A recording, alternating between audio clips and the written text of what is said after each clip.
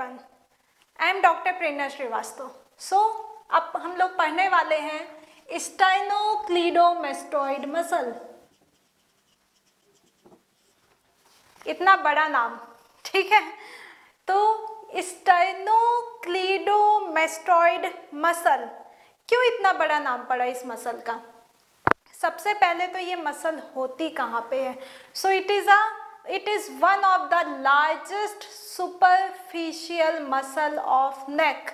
Neck की जो superficial muscles हैं, उनमें से ये एक लार्जेस्ट मसल है। ये देखिए आपको फील होगी ये। ये। This this is your sternocleidomastoid muscle अब इसका नाम इतना बड़ा क्यों पड़ा है? अभी पता चलेगा आप लोगों को। ठीक है?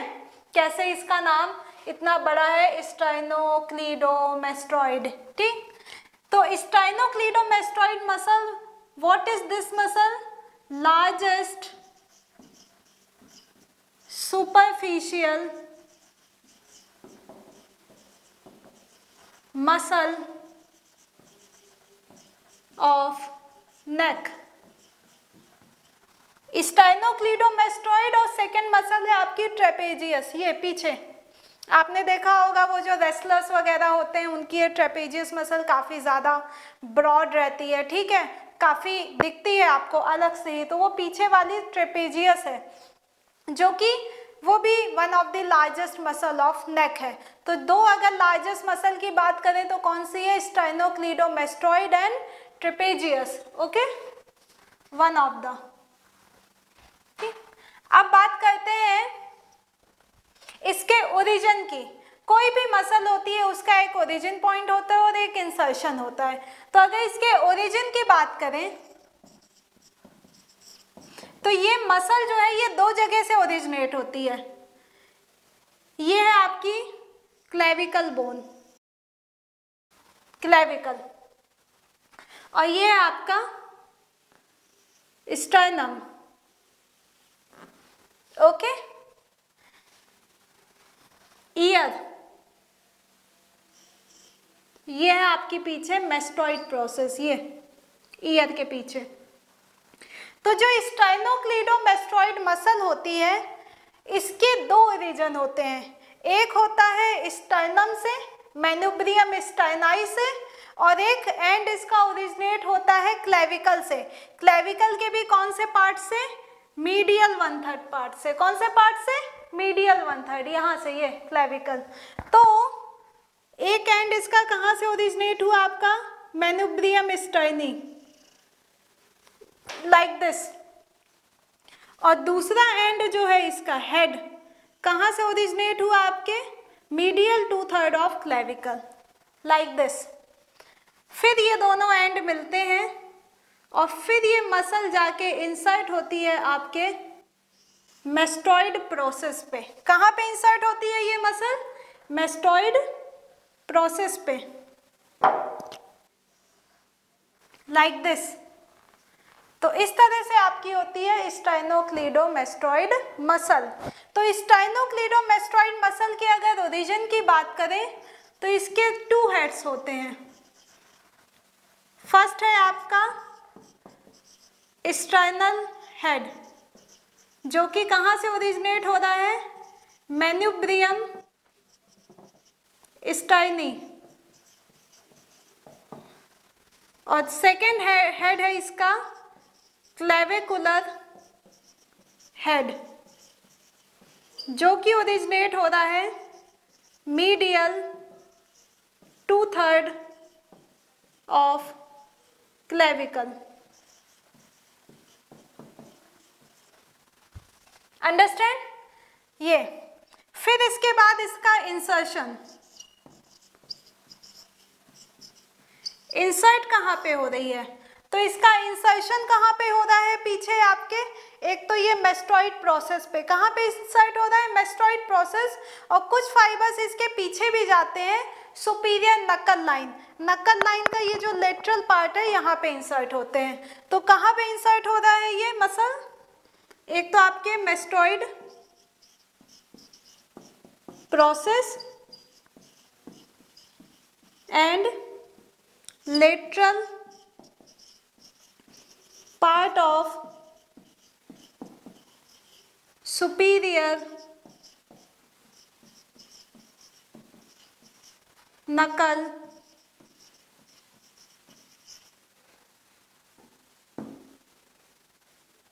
knuckle lines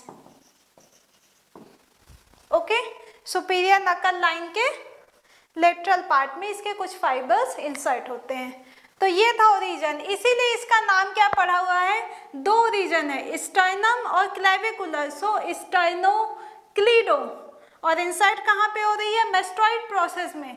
सो, मेस्ट्रॉइड, इसीलिए नाम है sternocleidomastoid muscle first जो वर्ड है दो sterno and cleido they are showing origin and mastoid word क्या शो कर रहा है? इंसर्शन अंडरस्टैंड अब बात करते हैं इसके सप्लाई की। आर्टीरियल सप्लाई ये पहले देखते हैं नर्व सप्लाई नर्व सप्लाई की बात की जाए तो इसको कौन सी क्रेनियल नर्व सप्लाई करती है? Eleventh cranial nerve. कौन सी नर्व इसे सप्लाई कर रही है? इलेवेंथ क्रेनियल नर्व, जो कि है आपकी स्पाइनल एसेसरी नर्व, या एसेसरी स्पाइनल नर्व, या accessory spinal nerve. Means eleventh cranial nerve supply करती है आपकी स्टाइनोक्लीडोमेस्ट्रॉइड मसल को। इसको भी सप्लाई करती है और ट्रिपेजियस को भी यही नर्व जो है वो सप्लाई करती है। अंडरस्टैंड तो ये थी इसकी नाइफ सप्लाई नेक्स्ट है आर्टीरियल सप्लाई आर्टीरियल सप्लाई की बात की जाए तो इसे सप्लाई करती है occipital artery and superior occipital artery और यहाँ पे होती है सुपीरियर थायराइड आर्टरी ये दोनों सप्लाई करती हैं आपके स्टाइनोक्लीडोमेस्ट्रॉइड मसल को। ओके? अब फ़ंक्शन या एक्शन।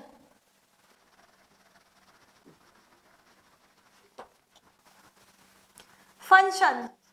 फ़ंक्शन की अगर बात की जाए तो जो स्टाइनोक्लीडोमेस्ट्रॉइड मसल है, देखिए जब राइट साइड लेफ़्ट साइड की मसल जब कॉन्ट्रैक्ट होगी लाइक दिस ये। तो आपका हेड किस साइड टिल्ट हो रहा है? राइट साइड तो राइट साइड जब हेड हेड टिल्ट होगा तो आपकी किस साइड की मसल कॉन्ट्रैक्ट होगी? लेफ़्ट की अपोजिट और जब लेफ़्ट साइड टिल्ट होगा तो किस साइड की मसल कॉन्ट्रैक्ट होगी? राइट की। तो राइट कॉन्ट्रैक्ट हो रही है जो कि हेड का मूवमेंट कहाँ करवाएगी? लेफ़्ट साइड पे। और जब लेफ़्ट की कॉन्ट्रैक्ट होगी तो हेड का मूवमेंट किस साइड करवाएगी? राइट साइड पे। और जब दोनों मसल एक साथ कॉन्ट्रैक्ट होंगी तो ये हेड का मूवमेंट कैसे करवाएँगी? फॉरवर्ड खाना खाते टाइम ठीक है? जब सोकर उठते हैं तो पिलो से जब हेड रेस करते हैं तो उसमें भी कौन सी मसल हेल्प करती है आपकी? स्टाइनोक्लीडोमेस्ट्रॉइड मसल जब दोनों साथ में कॉन्ट्रैक्ट हो रही हैं तो हेड का फॉरवर्ड मूवमेंट होगा। और जब साइड में कॉन्ट्रैक्ट हो रही है तो हेड का मूवमेंट कैसा होगा? अपोजिट साइड पे। राइट की कॉन्ट्रैक्ट हो रही है तो लेफ़्ट साइड मूव होगा। लेफ़्ट की कॉन्ट्रैक्ट हो रही है तो राइट साइड मूव होगा। एंड समटाइम्स जो आपकी स्टाइनोक्लीडोमेस्ट्रॉइड मसल है, ये फोस्ट इंस्पिरेशन में भी हेल्प करती है। Not always sometimes so function tilting of head अगर राइट मसल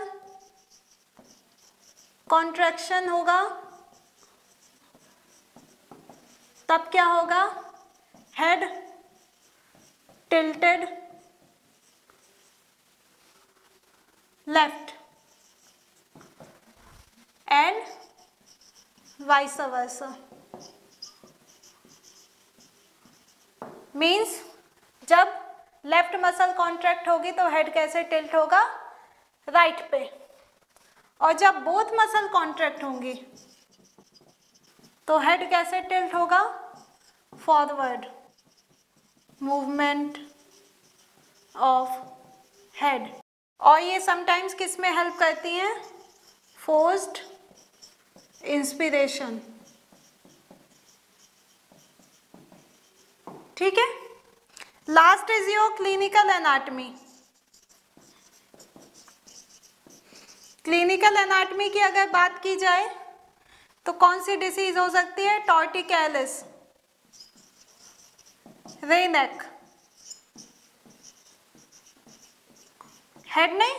मूव नहीं हो रहा है टिल्ट नहीं हो रहा है। मतलब मसल क्या हो गई है? कॉन्ट्रैक्टेड स्टेट में है तो हेड का प्रॉपर मूवमेंट नहीं हो रहा है या एक ही साइड मूव है, ठीक है? तो फिर उस टाइम पे फिर नेक को वो मसल को क्या करना पड़ेगा? रिलैक्स करना पड़ेगा।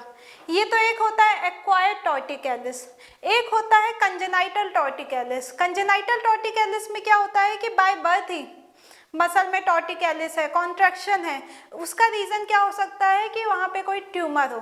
पालपेट करने पे ट्यूमर या ट्यूमरस मास जो है वो फील होगा अंडरस्टैंड तो टॉर्टिकैलिस दो तरह के हो सकते हैं। One is your acquired and another one is your this one congenital okay congenital का मेन रीज़न क्या है? वहाँ पे कोई ट्यूमरस मास है। और एक्वायर्ड तो कई रीज़न हो सकते हैं। ठीक है स्ट्रेचिंग हो गई एबनॉर्मल एक्सरसाइज हो गई, ये सारी चीज़ें। तो टॉर्टिकैलिस मीन्स हेड एक ही साइड मूव है प्रॉपर मूव नहीं हो रहा है।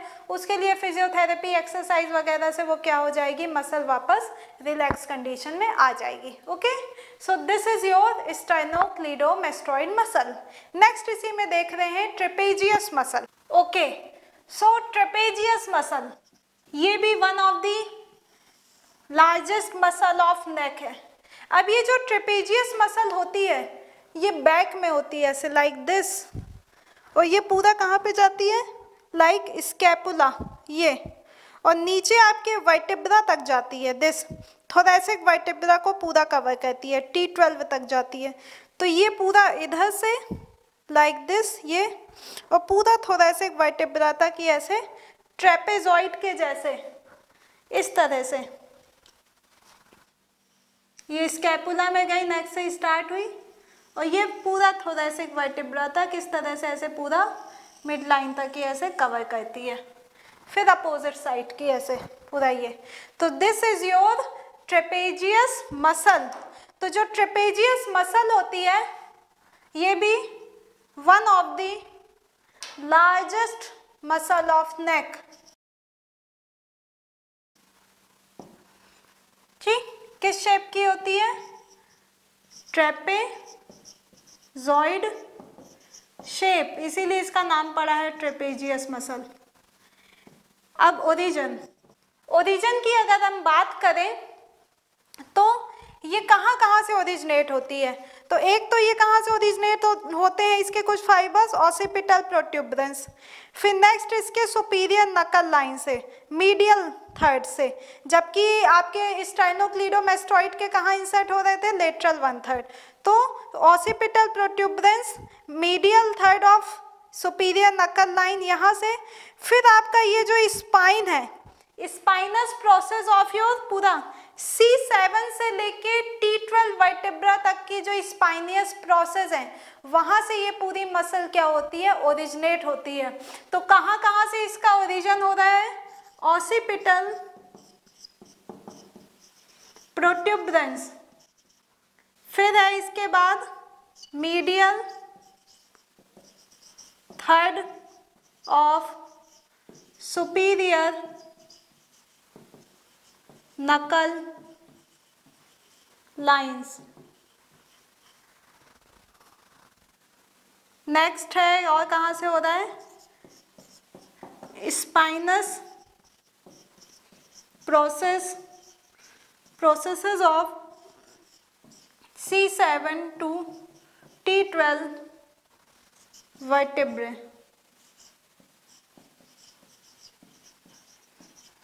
And साथ में नक्कल लिगामेंट से भी। तो ये चार जगह से इस मसल का ओरिजिन हो रहा है, ठीक? अब बात करते हैं इंसर्शन की।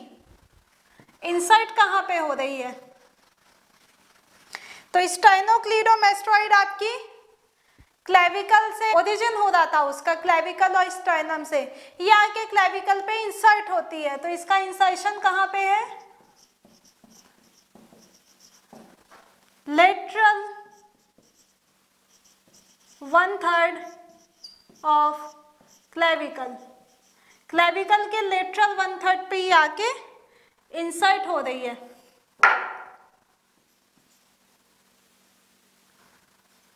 सेकेंड और ये कहाँ पे इंसर्ट होती है? तो ये स्कैपुला पे भी इंसर्ट होती है, ठीक है?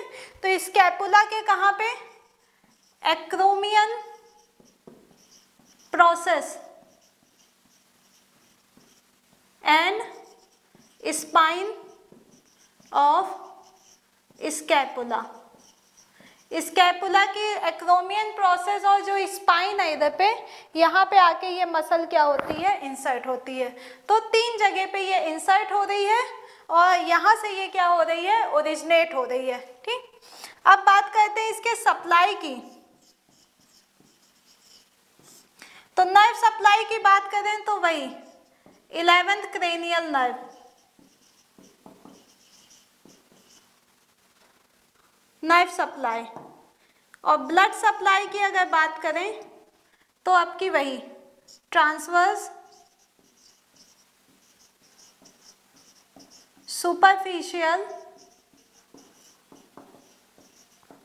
वेसल्स ओके ये सप्लाई करती है ट्रिपेजियस मसल को। अब ट्रिपेजियस मसल के एक्शन की बात करते हैं। फ़ंक्शन तो फ़ंक्शन की अगर बात की जाए तो ये स्कैपुला में जितने भी मूवमेंट हो रहे हैं कॉन्ट्रैक्शन रिलैक्सेशन एलिवेशन डिप्रेशन ये सारे मूवमेंट में हेल्प करती है योर ट्रेपेजियस मसल तो क्या क्या मूवमेंट करवा रही है? contraction, relaxation या retraction, contraction, retraction, elevation and depression of scapula scapula में ये सारे काम करवा रहे कॉन्ट्रैक्शन रिट्रैक्शन एलिवेशन डिप्रेशन सारे मूवमेंट में ये हेल्प कर रही है। So this is your trapezius muscle काफ़ी बड़ी मसल है। नेक में तो स्प्रेड है ही। और फिर ये पीछे पूरा थोरेसिक वाइटिब्रा तक जाती है। टी ट्वेल्व तक ये पूरा ऐसे स्प्रेड करती है। ओके लाइक दिस ये। ट्रायंगल शेप में ट्रेपेजॉइडल शेप में. So this is your trapezius muscle यहाँ से आपके स्टाइनोक्लीडोमेस्टॉइड और ट्रेपेजियस मसल कंप्लीट होते हैं. ठीक है, फिर मिलते हैं अपने नेक्स्ट लेक्चर में. Up to then bye bye thank you everyone